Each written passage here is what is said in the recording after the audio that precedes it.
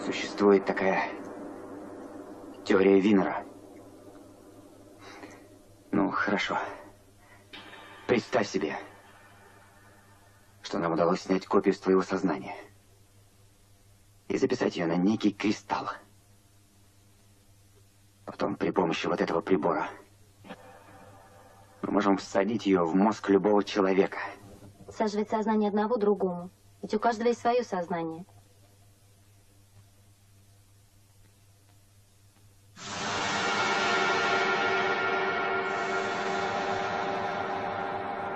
Ну, выдумали они это, я думаю, из самых гуманных побуждений.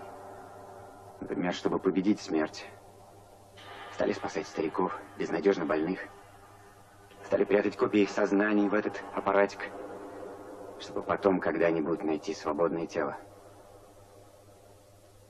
Что значит свободное тело? Ну, например, тело преступника.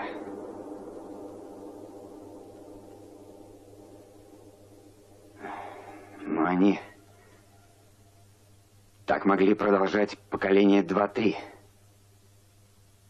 Возможно, создали касту бессмертных властителей, которые веками кочевали из одного тела в другое. Возможно, что-то иное.